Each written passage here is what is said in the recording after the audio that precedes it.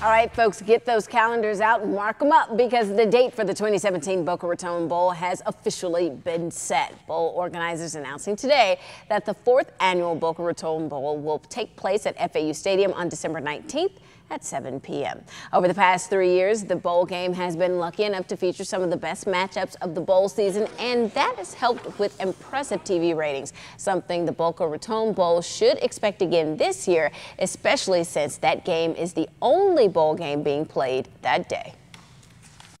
through our three years of what we've been able to show, the great games we've had, the fantastic matchups, and then, of course, the support here locally, I think that it's uh, kind of a mark of, hey, you're doing a great job down there and um, you know be on that prime time slot. Um, going to be in front of a lot of eyeballs that night. That that's really important to us.